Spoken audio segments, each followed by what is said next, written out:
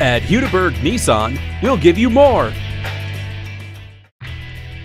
We would love the chance to get you into this terrific 2012 Nissan Titan SV. This flex fuel truck is nicely equipped and comes with plenty of passenger room, so you won't have to worry about being cramped when it's more than just you in this truck. Please give us a call for more information and for a test drive. Call or stop in today. We are conveniently located one block west of I 35 on I 240 in Shields in Oklahoma City. Remember, you can count on Hudiburg. We'll give you more.